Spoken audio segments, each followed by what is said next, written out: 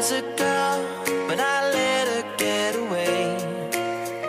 It's all my fault, cause pride got in the way. And I'd be lying if I said